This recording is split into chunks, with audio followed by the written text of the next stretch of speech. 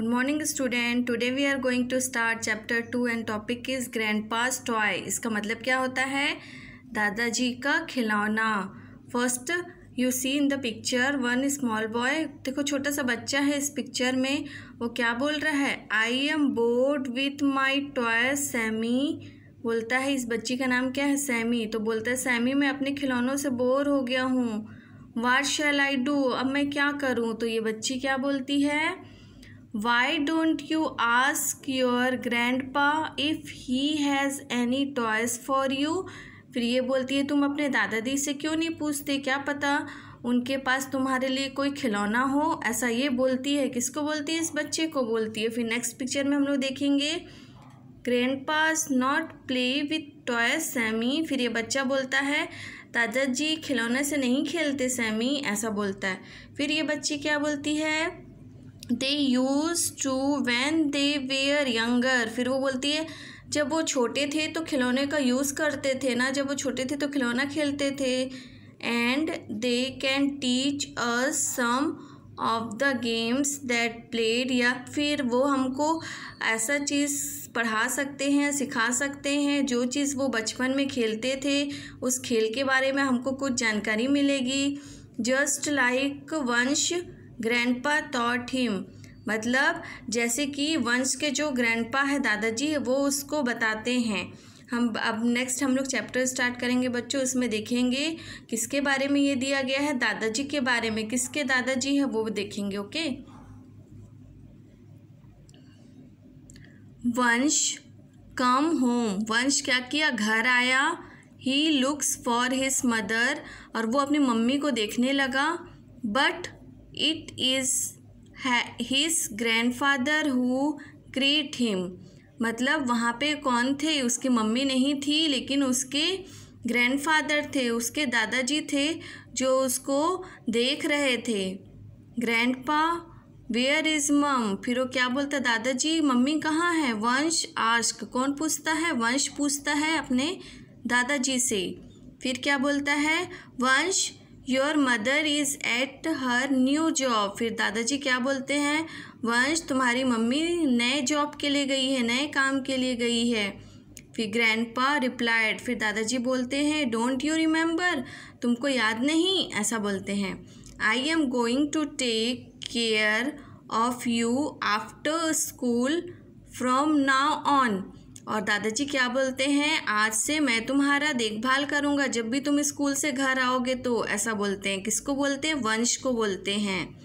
I just want to watch T V मैं तुम्हारे साथ बैठ के टी वी देखूँगा। फिर वंश शेज वंश क्या बोलते हैं?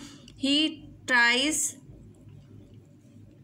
not to show it but he is sad he missed his mother Vansh क्या बोलता है? वंश बहुत उदास था और एकदम परेशान था, लेकिन वह अपने दादाजी को नहीं दिखा रहा था वैसे कि वो उदास है या परेशान है। क्यों? क्योंकि वो अपनी मम्मी को मिस कर रहा था, याद कर रहा था।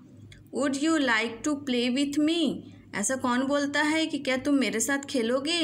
ग्रैंडपा आस्क कौन बोलता है? उसके दादाजी बोलते हैं, उसको पूछते हैं। There are so many fun things we can do together तो उसके दादाजी क्या बोलते हैं? हमारे पास बहुत सारे मस्ती करने के बहुत सारे चीज़ हैं जो हम एक साथ मिल के कर सकते हैं।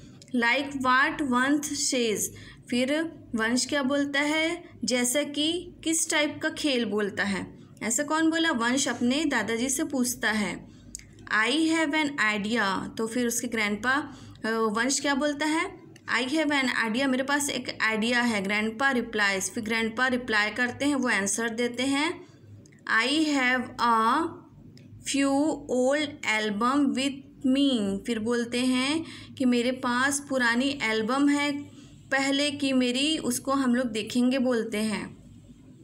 एल्बम मतलब समझ रहे हो ना? जिसमें हम लोग फ़ोटो रखते हैं। They have some photographs of me when I was your age उसमें मेरे कुछ फ़ोटोग्राफ है। जब मैं तुम्हारे एज का था, तुम्हारे जैसे छोटा बच्चा था, तब का कुछ कुछ फ़ोटोग्राफ है, ऐसे बोलते हैं। We can look at them हम लोग उसको साथ में बैठ के देखेंगे, ऐसा बोलते हैं उसके दादाजी।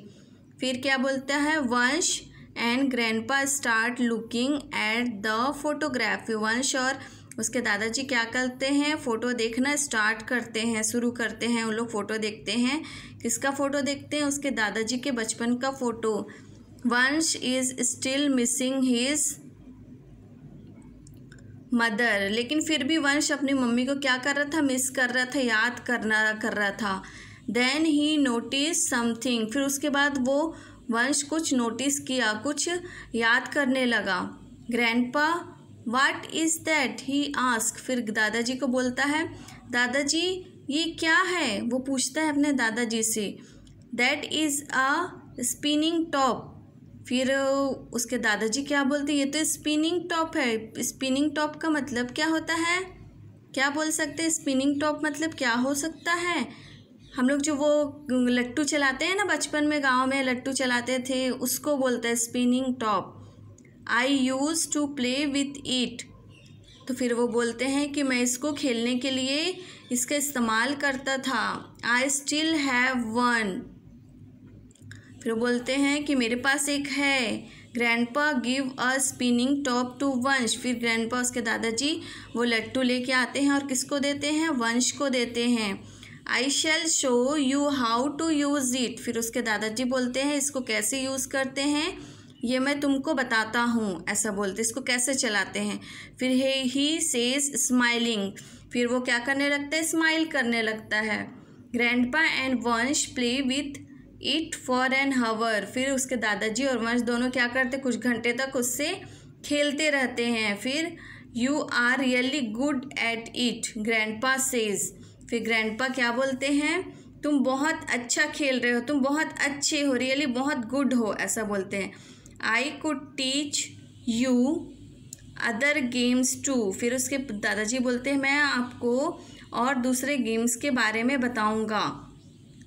दैट वुड बी ग्रेट वो भी बहुत अच्छे हैं। वंश बोलता है can you take care of me every day after school फिर वह वंश बोलता है दा अपने दादाजी को दादाजी जब भी मैं स्कूल से आऊँगा तो, तो आप मेरा ध्यान रख सकते हो? फिर grandpa brings I think I can he says फिर ग्रैंडपा बोलते हैं, उसके दादाजी क्या बोलते हैं? हाँ ज़रूर, मैं ऐसा कर सकता हूँ। ऐसा बोलते हैं, और उसके दादाजी क्या हो जाते हैं? एकदम खुश हो जाते हैं। ओके अंडरस्टैंड आप लोग ये चैप्टर समझ में आया ना? अब हम लोग ये एक्सरसाइज मैं आपको नेक्स्ट क्लास में दूँगी, ओके?